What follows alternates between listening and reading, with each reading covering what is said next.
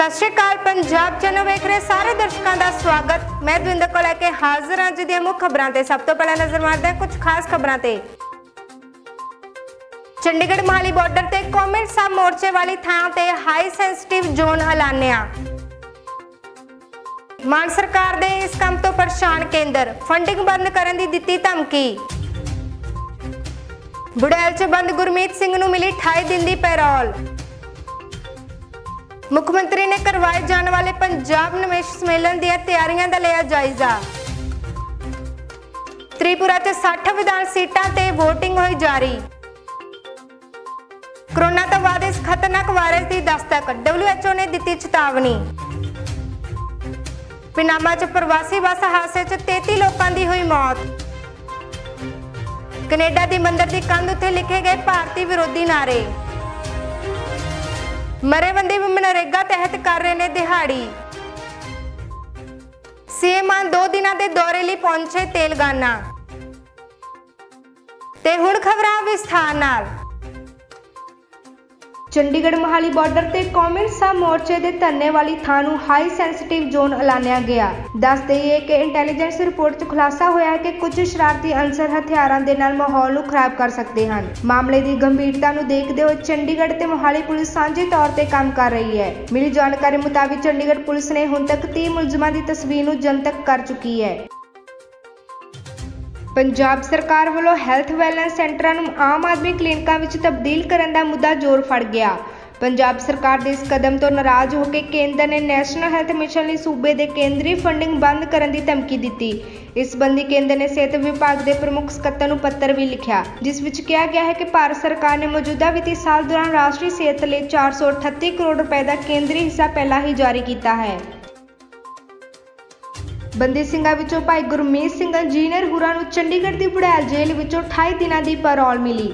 ਦੱਸ ਦਈਏ ਕਿ ਉਹਨਾਂ ਨੂੰ 2013 ਵਿੱਚ ਪਹਿਲੀ ਵਾਰ ਉਦੋਂ ਪੈਰੋਲ ਮਿਲਣੀ ਸ਼ੁਰੂ ਹੋਈ ਸੀ ਜਦੋਂ ਭਾਈ ਗੁਰਬਖਸ਼ ਸਿੰਘ ਹੁਰਾ ਵੱਲੋਂ ਮਰਨ ਵਰਤ ਰੱਖ ਕੇ ਮੋਰਚਾ ਲਗਾਇਆ ਗਿਆ ਸੀ। ਕੌਮੀ ਸਾਹਿਬ ਮੋਰਚੇ ਦੀ ਸੰਗਤ ਅਤੇ ਤਾਲਮੇਲ ਕਮੇਟੀ ਵੱਲੋਂ ਗੁਰਦੁਆਰਾ ਅੰਬ ਸਾਹਿਬ ਪਹੁੰਚ ਕੇ ਉਹਨਾਂ ਦਾ ਨਿੱਘਾ ਸਵਾਗਤ ਕੀਤਾ ਗਿਆ।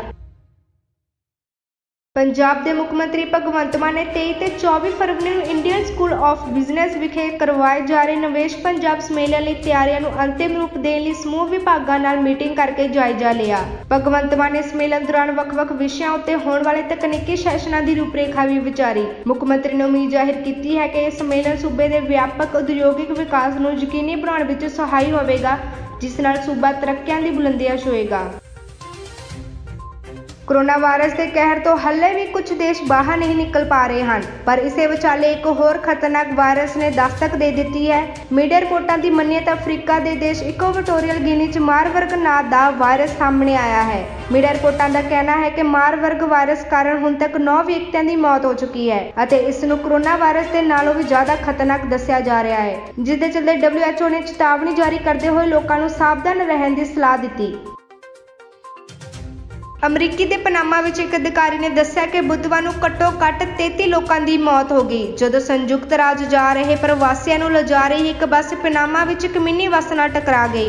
ਦੱਸ ਦਈਏ ਕਿ ਰਾਜਧਾਨੀ ਪਨਾਮਾ ਸਿਟੀ ਤੋਂ ਲਗਭਗ 400 ਕਿਲੋਮੀਟਰ ਪੱਛਮ ਵਿੱਚ ਦੁਰਘਟਨਾਗ੍ਰਸਤ ਹੋਣ ਵੇਲੇ ਬੱਸ ਵਿੱਚ ਡਰਾਈਵਰ ਅਤੇ ਇੱਕ ਸਹਾਇਕ ਸਮੇਤ 66 ਲੋਕ ਸਵਾਰ ਸਨ। ਕੈਨੇਡਾ ਵਿੱਚ ਮੁੜ ਤੋਂ ਇੱਕ ਵਾਰ ਫਿਰ ਮੰਦਿਰ ਦੀ ਕੰਧ ਉੱਤੇ ਖਾਲਿਸਤਾਨ ਨਾਰੇ ਲਿਖੇ ਮਿਲੇ ਹਨ। ਬ੍ਰੈਂਪਟਨ ਸਥਿਤ ਗੌਰੀ ਸ਼ੰਕਰ ਮੰਦਿਰ ਦੀ ਕੰਧ ਉੱਤੇ ਭਾਰਤ ਵਿਰੋਧੀ ਨਾਰੇ ਲਿਖੇ ਦੱਸੇ ਜਾ ਰਹੇ ਹਨ, ਜਿਸ ਦੀਆਂ ਤਸਵੀਰਾਂ ਸੋਸ਼ਲ ਮੀਡੀਆ ਤੇ ਵਾਇਰਲ ਹੋ ਰਹੀਆਂ ਹਨ।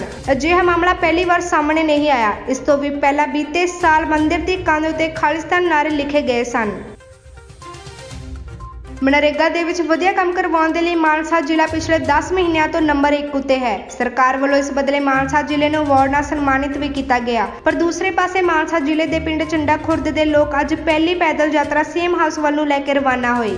ਦੱਸ ਦਈਏ ਕਿ ਹਲਕਾ ਸ਼ਰਦੂੜਗੜ੍ਹ ਦੇ ਪਿੰਡ ਚੰਡਾ ਖੁਰਦ ਦੇ ਲੋਕ ਮਨਰੇਗਾ ਵਿੱਚ ਹੋਏ ਕਪਲਿਆਂ ਦੀ ਜ਼ਿਲ੍ਹੇ ਦੇ ਅਧਿਕਾਰੀਆਂ ਵੱਲੋਂ ਜਾਂਚ ਨਾ ਕਰਨ ਤੋਂ ਦੁਖੀ ਹੋ ਕੇ ਅੱਜ ਸੀਐਮ ਹਾਊਸ ਤੱਕ ਪਹਿਲੀ ਪੈਦਲ ਯਾਤਰਾ ਲੈ ਕੇ ਰਵਾਨਾ ਹੋਏ। ਪੰਜਾਬ ਦੇ ਮੁੱਖ ਮੰਤਰੀ ਭਗਵੰਤ ਮਾਨ ਅੱਜ ਤੋਂ 2 ਦਿਨਾਂ ਲਈ ਤੇਲੰਗਾਨਾ ਦੇ ਦੌਰੇ ਤੇ ਹਨ। ਅੱਜ ਉਹਨਾਂ ਨੇ ਪੰਜਾਬ ਵਿੱਚ ਪਾਣੀ ਦੀ ਸੰਭਾਲ ਲਈ ਸਿੰਚਾਈ ਵਿਭਾਗ ਦੇ ਅਧਿਕਾਰੀਆਂ ਨਾਲ ਮੀਟਿੰਗ ਕਰਨ ਮਗਰੋਂ ਤੇਲੰਗਾਨਾ ਡੈਮ ਦਾ ਜਾਇਜ਼ਾ ਲਿਆ। ਇਸ ਮੌਕੇ ਸੀਐਮ ਮਾਨ ਨੇ ਨਵੀਂ ਤਕਨੀਕ ਸਮੇਤ ਪਾਣੀ ਦੀ ਸੰਭਾਲ ਅਤੇ ਹੋਰ ਵਿਕਲਪਾਂ ਬਾਰੇ ਜਾਣਕਾਰੀ ਲਈ। ਸਿੰਚਾਈ ਵਿਭਾਗ ਦੇ ਅਧਿਕਾਰੀਆਂ ਨੇ ਮਾਨ ਨੂੰ ਡੈਮ ਦੇ ਉਦਘਾਟਨ ਤੋਂ ਲੈ ਕੇ ਹੁਣ ਤੱਕ ਦੀ ਕਾਰਜਕੁਸ਼ਲਤਾ ਬਾਰੇ ਜਾਣਕਾਰੀ ਦਿੱਤੀ। ਇਹ ਅੱਜ ਦੀਆਂ ਮੁੱਖ ਖਬਰਾਂ। ਵਧੇਰੇ ਜਾਣਕਾਰੀ ਲਈ ਜੁੜੇ ਰਹੋ ਪੰਜਾਬ ਚੈਨਲ ਦੇ ਨਾਲ।